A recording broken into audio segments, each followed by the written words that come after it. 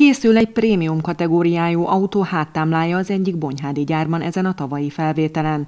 2020-tól többek között ezen járműipari munkakörhöz szükséges végzettséget már nem fogják oktatni, legalábbis nem úgy, ahogy eddig tették. A kormány átalakítja a képzési rendszert, jövő évtől megszűnik az országos képzési jegyzék, a helyébe pedig egy új rendszer lép. Ez többek között azt eredményezi, hogy jóval kevesebb alapképzés lesz. Technikusi szinten pedig összevonnak több szakmát a gépjárműipari és elektronikai ágazatban. Utóbbi ágazat 40 OK és alapszakából mindössze 7 maradna.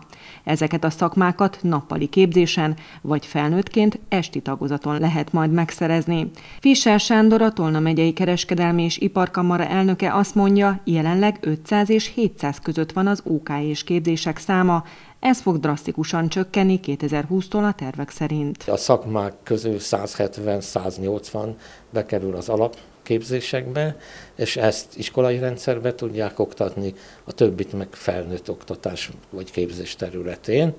Ez, ezzel nincs is gond talán, mert ma is egyre jobban áttolódik az oktatás a felnőtt képzésre, mert rövidebb időtartalom alatt lehet képezni, és gyakorlatilag menet közben is már ugye dolgozik az illető, és valamilyen szakmát kaphat. Vagyis jövő évtől jobban elkülönülnek egymástól a széles körű szaktudást adó alapképzések, illetve a tanfolyam jellegű rövidebb képesítések.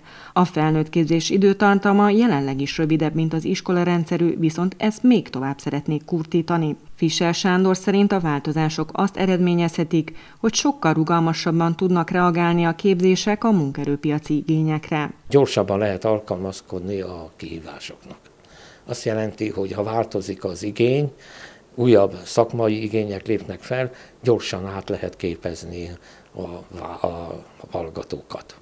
A szakképzés mind a 19 ágazatában zajlik a szakmák újraelosztása. Várhatóan idén őszre készülnek el az átalakításhoz szükséges rendeletek és jogszabályok.